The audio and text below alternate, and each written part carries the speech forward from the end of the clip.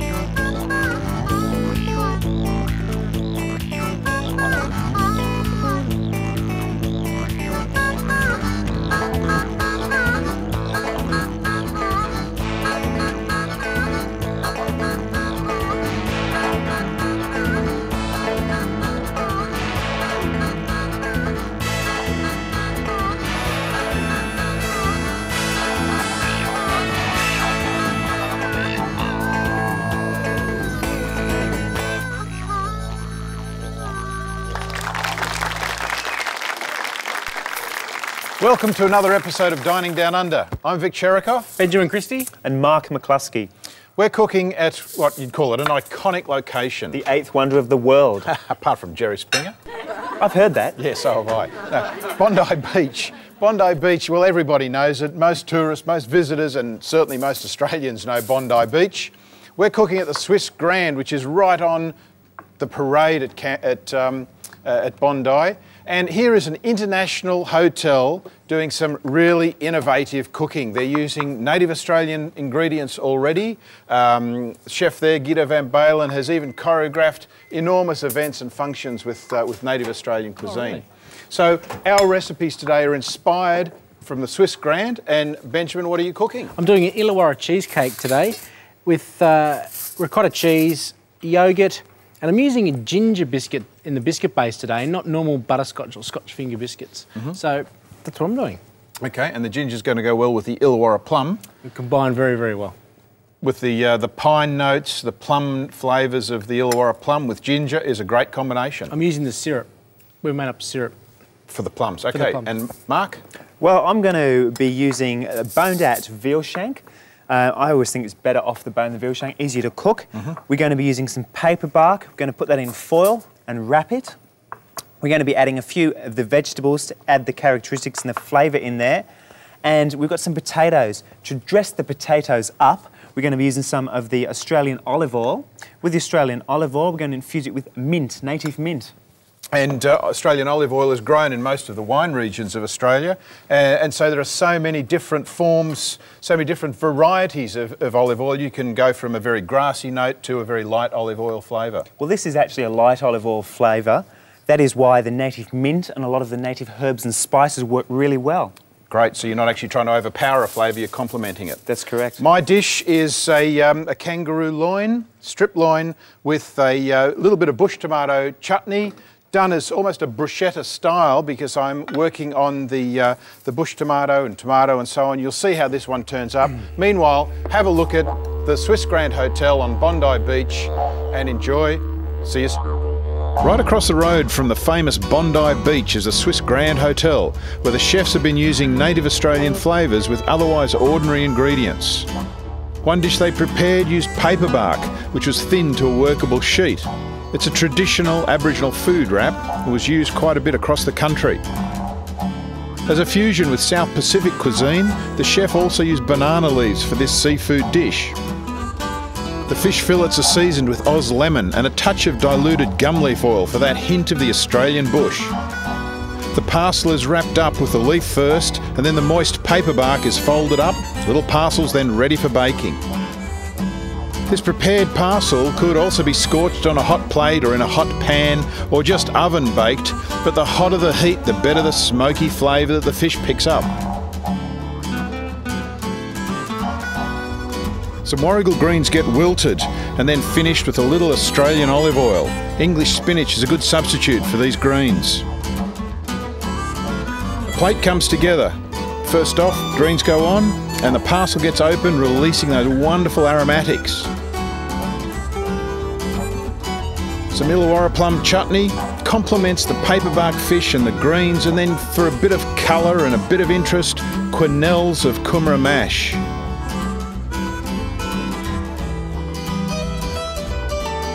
Our next dish starts with Spanish onions, which get sweated in oil but not browned. Then we add some diced mango and some fresh dill, For that hint of sweetness, some aromatic ginger jam finishes the salsa until later. A kangaroo fillet is seared on both sides and then finished in the oven to medium rare. As always, it gets rested before it's sliced. A game stock with dark cherry juice is reduced and then the cherries added right at the last bit. A kumara mash gets warmed and then seasoned with some cracked pepper and it's ready for service. Finally, the dish comes together in layers. A mould is used and the salsa goes in first. Kumara is then worked over the top and the mould's removed. So this arrangement's going to give us height ready for the slices of roo to be fanned out on top.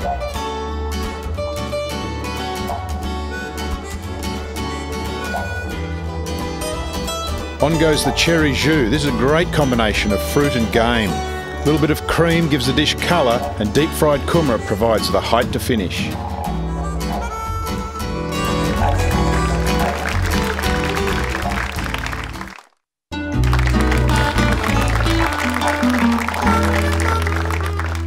Don't you love it out the backyard barbie?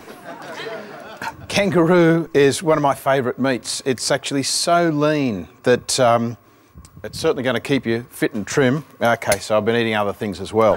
But the good thing about kangaroo is that uh, because it is lean with just body fat, not being on game meat, the main fat contribution is actually polyunsaturated fat from the nervous tissue and so on in the meat. So it's almost like your margarine equivalent of beef. Uh, very, very healthy. But what it means, it takes a little bit of care when you're cooking it on the barbecue, and particularly when it's got such a, a small section of meat as well. So I'm not a great believer in, in putting too much flavour onto meat first, because you can maybe just a dash of some sweet soy, and not a great deal again. It's going to burn on the barbecue, particularly with the heat. And again, dipping meat in oil, from my point of view, um, say I was to oil it or to put a flavour oil at this stage, all it tends to do is cause the barbecue to flare up, which, okay, it looks good and you can sort of work amongst the flames there. But the problem with that is that suddenly you've got a higher temperature as the oils burn and it actually makes the oxidise the oils that are the meat. You get off flavours from too much flame when you're barbecuing. So a high heat, sear the meat rather quickly and um, turn it once if you can. Turning meat often starts the juices moving from the surface of the meat to the, uh, or from the inside to the outside, tends to dry it. You really want to be able to cook it once, turn it over, finish it for the second cooking, and that's enough. Then when the meat's hot and you're resting it, that's the time to start applying flavours, native flavours, pepper, salt, conventional, native, it doesn't matter. Put the flavours on last. Also, if you salt the meat before you cook it, all that happens is you get the juices trying to dilute out the salt crust. You just killed all my cooking techniques there, mate. Well, Shot mate, them in. that's okay. Sometimes it, uh, it pays to educate experienced chefs. really, uh, again, what we're really looking at is the science of food and then applying the science of food to uh, some v- almost traditional cooking techniques and a lot of food myths. Uh, Benjamin, over to you. I've just melted the butter and I'm putting it into the breadcrumb mix. Mixed it up. You can even, you don't want it too dry, you don't want it too wet. You just want an even consistency and not too oily. We'll pack it into the, uh, the dariole mould and it's really, really easy. Just dariole mold. What's a dariole mold?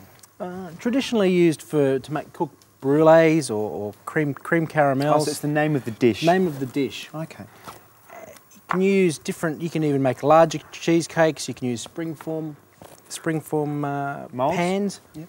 And if you, you know, they, they're the ones that have the spring on the Yep. side and plate comes out underneath. No worries, mate.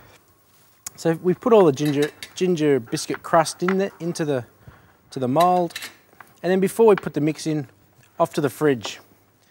This is the one I did earlier, and it's even right around. So then now to the mix. I'm going to start off with vanilla bean, very expensive, and we'll just slice it straight down the centre. from Madagascar or Indonesia. originally. and we just inside is a is a lot of little seeds. What we're going to do is we're going to use the knife, the back of the knife, just to scoop them all out. And with the vanilla bean, actually, when it's a fresh product, it doesn't have any flavour whatsoever. It's only when it becomes dried that the flavour gets intensified. And we'll probably only use one one half. But with the vanilla bean, once you've used the seeds inside, you can put it into just caster sugar and get vanilla sugar after that. Excellent. We'll put that into there. I do that with lemon myrtle and end up with lemon myrtle sugar. So yogurt in there now. Bit of ricotta. Let's put that in as well. Actually, we'll put a fair bit in. And then we'll mix that up. And you can see in there already the vanilla bean seeds throughout. We'll put an egg in as well. Benjamin, as you're mixing and uh, whisking, maybe we flick across to Mark and uh, move on with the veal. So what I'll do is I've got my, um, my veal here on the board. I've got some foil, Which you keep rattling. yes, and some uh, paper bark. I'm going to put the veal shank on top of the paper bark and add some of smoked ham. The smoked ham is going to be the salt for the dish. It's going to impart a lovely flavour throughout.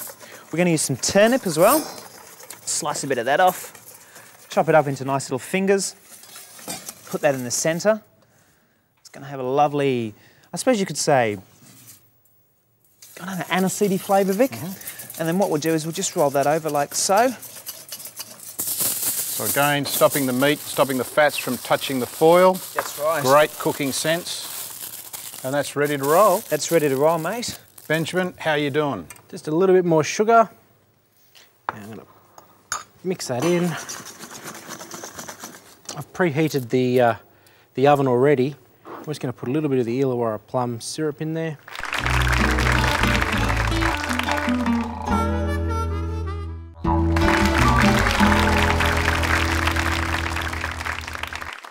So I've had my uh, meat cooked on the barbecue Looks great. and it's resting now. And as it starts to rest, that's where I'm going to add my native herbs to allow the flavour to start to infuse. Mate, we had a bit of a discussion before about Discussion. seasoning meats. Yeah. Now, I believe that you should season meat, especially when you're marinating meats. I believe you need to really penetrate, get the flavours into the meat. No, I agree. Marinating is right. If you're having the herbs, spices in a liquid form, uh, sitting around the meat for a while, even accompanied with red wine, with perhaps some oil as well, the flavours then can penetrate the meat, and that's fair go. What I'm suggesting, um, and my point in argument, Okay. is simply not to have herbs on the top of the meat or even pepper, and then applying open heat on the barbecue, for example. You'll just cook off all the volatiles. And it's almost a waste of herb. Fair enough. Point taken? Point taken. Thank you. Well, I might just put this veal shank in the oven to cook about 160 degrees for three hours. And then I'll talk to you a little bit about flavouring olive oil. Now, with olive oil, the best thing to do with olive oil, if you want it to infuse the oil very fast, you can put it in a dish, you can warm the oil slightly. That'll help to um, infuse the flavour quickly. The best way of doing it is like that, or you can soak it overnight for two or three days. That'll give you a really strong, rich flavour. We don't have that amount of time, so it's going in the microwave for two or three seconds. There we go. While that's happening, what I'm going to do is get a couple of the potatoes. With these potatoes, we're going to drizzle them with the finished product, the finished oil. One, two, three. That should just about do it. And you can really smell the flavours starting to come through, starting Yep, to work yep. with that. Just a small application of heat works really well. And so you don't, uh, you might lose some of the uh, vitamin E that uh, olive oil is so well uh, renowned for Definitely. because it's cold pressed. That's right. Um, you might lose it there, but as you pour it back into a stock and flavour it more, you make a concentrate here, put it back in the standard oil, and you end up with a great product. Definitely. So let's turn these boring potatoes into interesting potatoes. There we go, some native Australian minted olive oil. Bit of a drizzle there. And just a little bit on the top, and into the oven they go with the veal shank. Benjamin, I know you're just over the sink there, mate, but how's this going? I nearly finished off the cheesecake. Just putting the cheesecake mix into the ginger crusted dariole moles. They're going in there now. And I thought just to give it a bit of an interesting touch, just put a bit of the syrup again on top. and then just mixing it around with, with a toothpick or a skewer, just to give it that extra bit of presentation on top. I'm going to put those in the oven now for about, oh, about 35 minutes. That looks awesome. Put those straight in. And as I was saying before, with olive oil, you can, you can do it this way as well. Just put about half a teaspoon of the native mint into a good quality Australian olive oil. There we go. So we put that in there, put the lid on the bottle, give it a bit of a shake, put that on the shelf, and in a few days, that's going to have a really strong characteristic flavour. How long is it going to last for? Forever, pretty much. I, I, oil does go rancid, but only when it oxidises. You, um, I mean, a point to note here, if you were, say, uh, putting a pepper, a conventional pepper, into olive oil in that way, uh, the way that pepper's grown and dried and handled and out in the open air and then actually traded around the world, there's a quite a high microbial load, that is bacteria on it, um, very high in fact, and it can cause a few problems if you look at just adding a cold pepper to cold oil. Um, you will get some growth, you'll get a little bit of fuzz, it's time to throw out the oil. But the best way to do that is, as we discussed earlier, where you warm the oil, mm. effectively cook the pepper in the hot oil, yep. sterilise it, and then add it to your stock base. We'll put that recipe on the website for you, just as an aside. Benjamin, you're nearly done. I'm finished waiting for the cheesecakes to come out of the oven. Okay, I'll doing? be um, starting to uh, prep here. I've um, diced up some tomatoes and um, what I'm going to do is um, just make a small, move back here, a small mix, which is a, a quite a favourite flavour of mine. In fact, could I get some native mint as well? I'll use Certainly, that in this dish as well. Would you like some thyme as well? Um, How much? Wait, you mean how long? There so all I'm going to use is some chopped tomato. Uh, this is a mix of onion, bush tomatoes, which just to remind you, these are little bush tomatoes here. We've cooked those up and um, they can be the pulverised, they're going to be commercially available shortly as a, a, under the name of akudjura uh, are all around the world. In fact, this is now starting to be uh, cultivated as an interesting spice. And about 3% in a standard tomato chutney or relish, 3% of akudjura will change your ordinary everyday relish into something quite special. And because there's so much intensity of flavour here, I can actually mix it with ordinary tomatoes. And these are tomatoes that have been skinned. I've got some little extra shallots there that have been pan fried just for a bit of colour. A little bit of native mint to infuse. Mm, and that's nice. the basis of my little tartlets with kangaroo. And summarising the dishes for today, what we have is braised veal shank with native mint drizzled pink eye potatoes, kangaroo strip loin bruschetta, and a baked Illawarra plum cheesecake.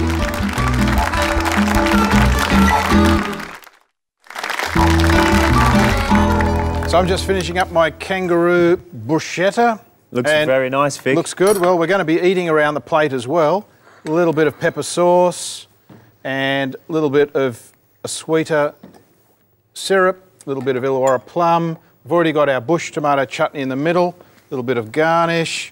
And the best way to eat these, dip them in the sauce and eat them because that puts the flavour on your tongue. I'm going to go and join our guests and leave you guys to plate up. What I'm going to do is finish up putting my potatoes on the plate, Put the veal on the plate there, a little bit of watercress. And then as Vic says, we're going to be eating around the plate today, so put a bit of sauce there. Over to you, Benjamin. Um, I'm actually finished. Sorbet's on. Cheesecake. I'm going to meet you out there, Mark. Let's eat. Guys, welcome. Tom, you've got a whole host of things to eat. And I've got a letter to read.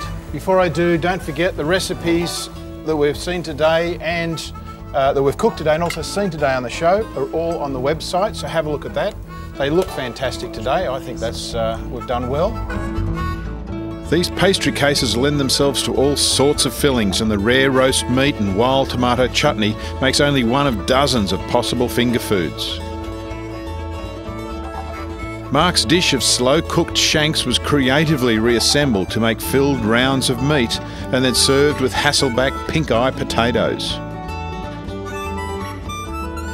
Cheesecake is one of my favourite desserts, and Ben's Illawarra plum cheesecake is a delicious use of these plum and pine flavoured fruits.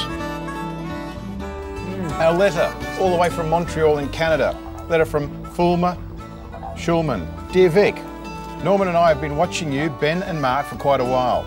We love the show and we were wondering if you could give us a bit of info. A friend of ours added a special blend of Aussie flavours into a fruit salad that she made. Norman and I tried it and can honestly say that it was the best fruit salad that I have ever tasted. That's quite a rave. And I, I cannot remember what she said it was, but I do know that it was fantastic. It was fruit and, and summer in the middle of winter. Hmm, good taste description, eh, fellas? Oh, mate, how do you I wonder what you put in. How can I make it myself? It was a real taste experience. Ben, what do you reckon she put into it?